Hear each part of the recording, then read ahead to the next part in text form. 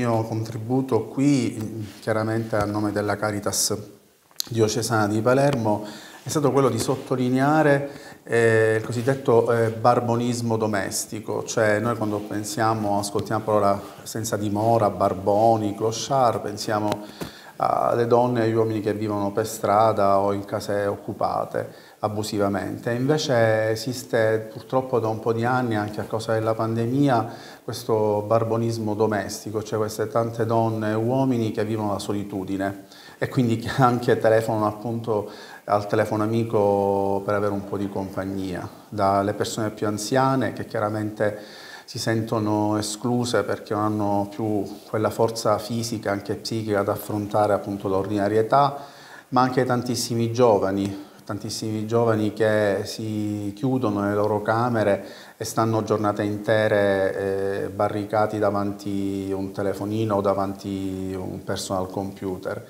Oppure anche tante donne e tanti uomini separati o divorziati eh, che appunto sono, sì, vanno al lavoro, però poi si chiudono in casa perché hanno eh, paura di ripartire eh, di avere, e non hanno più la speranza ad andare, ad andare avanti. Quindi abbiamo trattato come Caritas Diocesana di Palermo tutti questi argomenti proprio perché sia nei nostri centri di ascolto oppure chiamo al telefono amico in un modo o in un altro, eh, con identità differenti e carismi diversi, affrontiamo queste povertà in compagnia di Maria Luisa Negri, responsabile email amica del telefono amico e si occupa proprio del coordinamento nazionale. A livello nazionale ci ehm, rendiamo conto che arrivano delle mail di richiesta di aiuto sul numero, eh, diciamo sull'indirizzo eh, di posta elettronica della segreteria nazionale.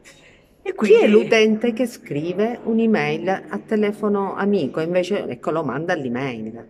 Manda un'email, sì. E chi è l'utente? Lo possiamo, eh, ha un, il target? Diciamo all'inizio inizio erano persone che scrivevano soprattutto eh, con intenti suicidari, soprattutto.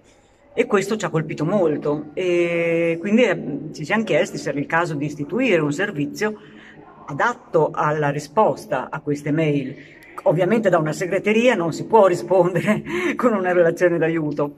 E quindi abbiamo fatto un primo corso appunto a fine del, degli anni 2000 e mm, successivamente c'è stato un periodo di stasi e poi finalmente con l'aiuto anche eh, del responsabile nazionale della Germania del servizio di Mail Amica, loro erano molto molto più avanti di noi, siamo riusciti a mh, mm, creare una piattaforma con determinate caratteristiche per avere l'assoluto anonimato e eh, iniziare nel 2011 un anno di prova e nel 2012 il servizio vero e proprio.